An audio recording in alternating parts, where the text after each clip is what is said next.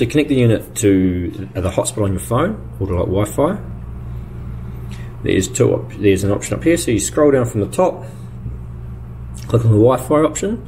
It's going to search for networks, so you can see them all coming in here. Just only like click on one and enter in the password, and like this will set up the Wi-Fi network for you and connect to it. So here it's connecting to like a an office network. But if you want to connect to your phone network, you just need to turn the hotspot on on your phone. So you click on there and you just type in the password.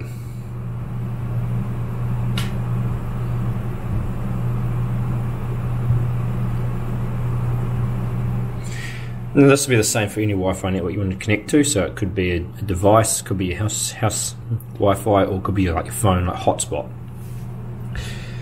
So for your phone hotspot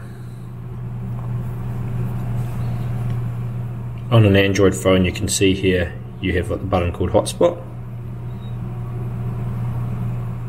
And what that does is turn on is like turn on this device so it can share the internet.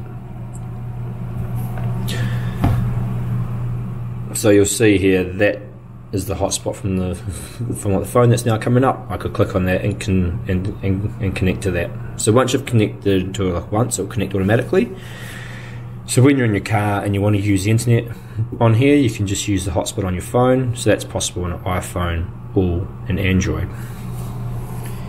Now you'll see we have a small like, Wi-Fi like signal up here, which means that we're connected to the internet or to like, the network that we've connected to.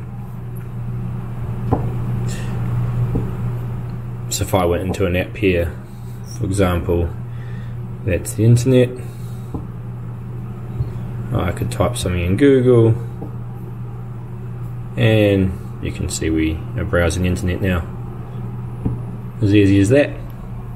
Now, as the head units do have USB plugs, they also do have the ability to take a free or a 4G modem, if that's something you, uh, you'd want to do. So you can plug one of those in, so you can have, have the internet connected there all the time without having a hotspot to your phone.